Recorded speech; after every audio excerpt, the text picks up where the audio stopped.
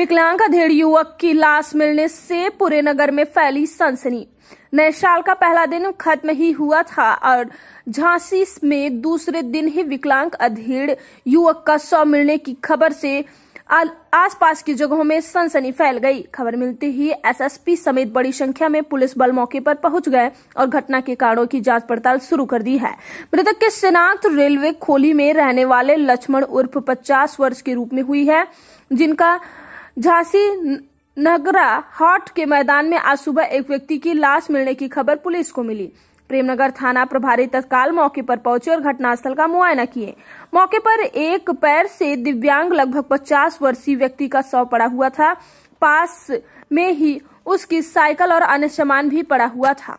जाँच में आधेड़ के सिर में चोट के निशान मिलने से लाठी से हमले करने की आशंका जताई जा रही है। आसपास के लोगों ने बताया कि मृतक का नाम लक्ष्मण है जो रेलवे खोली में रहता था।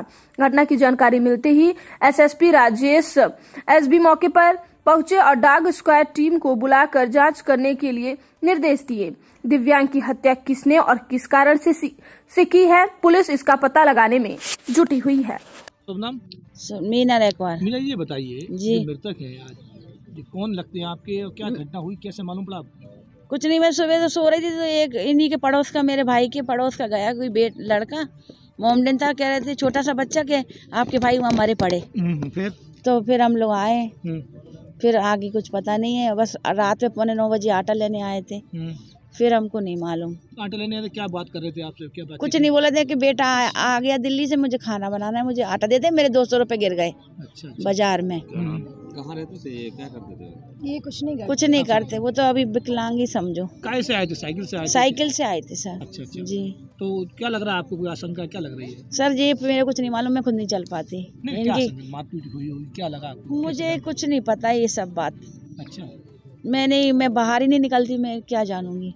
ना मुझसे कभी कोई ऐसी चर्चा करी कि मेरी को किसी ने मारा है पीटा। है। परिवार कहाँ रहता है दिल्ली में। कौन कौन? बेटियाँ हैं बेटा है बस। सास ससुर है नहीं मेरे माँ बाप तो ख़त्म हो गए। और कोई नहीं।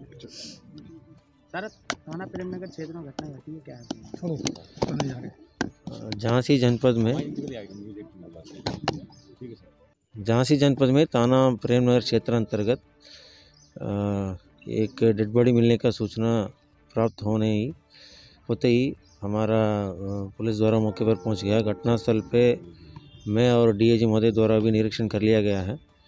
घटनास्थल देखने के बाद और जो डेड बॉडी है उसको निरीक्षण करने के बाद ये पता चल रहा है कि जो हेड इंजरी है उस जिसको लेके उनको मृत्यु हुई है और ये साइकिल से अपना बहन का घर रात्रि लगभग नौ बजे के बाद निकला था।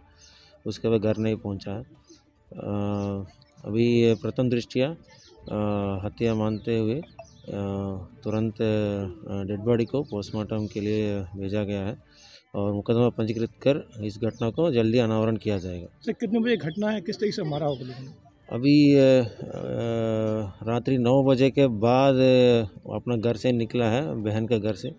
तो उसके बाद की घटना है। कितने बजे अभी कुछ कहना मेरे लिए असंभव है बट किसी आसपास लोगों ने देखा हो बताया हो? जैसे मैंने बताया, अभी जितने अभी प्रथम दृश्य जो पूछताछ अभी निकल के आ रही है, अभी तक कितना नौ बजे तक लास्ट इनको देखा गया, उसके बाद क्या है, वो सब इन्वेस्टिगेशन अभी कर रहे हैं। अच्छा हमला कैसे किया गया? किस चीज़ से मारा